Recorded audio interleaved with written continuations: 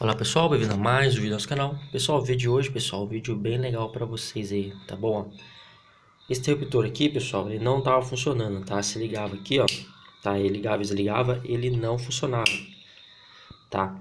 É... Então eu abri aqui para dar uma olhada nele, tá certo? O que que eu encontrei aqui, ó? Essa pecinha que ela saiu, ó. Pecinha onde vai o fio lá ser parafusa, né? E essa parte aqui de trás aqui, ó, é que dá o contato lá no, no interruptor, ó. Então ela saiu, eu puxei aqui, ó, ela tava aqui, ó. Bem onde tá parafusado ali, tá vendo essa parte aqui, ó? Ele tava aqui, ó. Tá bom? Esse primeiro aqui, naquela bolinha ali, tá certo? Então o que que eu fiz, tá?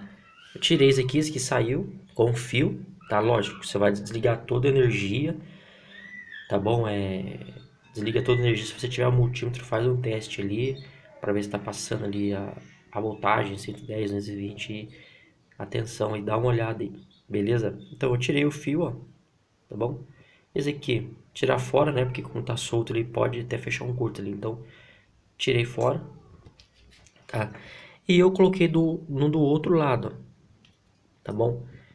Esse, esse primeiro marrom aqui, tá bom, pessoal? Ó, tá vendo? Aqui tá lá, aqui lá, o terceiro. Então, ele tava nesse primeiro aqui, ó. Eu tirei, abri o fio lá e coloquei lá. Tá bom, ó? E voltou a funcionar. A luz tá, tá acendendo e apagando. Deixa eu mostrar aqui, ó. Tá acendendo e, e apagando. Tá? Então, era esse daqui, pessoal, o problema aí. Tá certo, ó? Qualquer dúvida aí Comenta aí, tá certo, pessoal? Não vai fazendo nada. Com a dúvida, comenta. Usa luva, óculos de proteção aí, tá bom? É, desliguei toda a energia de vocês. Se possível, faça teste na tomada aí. Beleza, pessoal?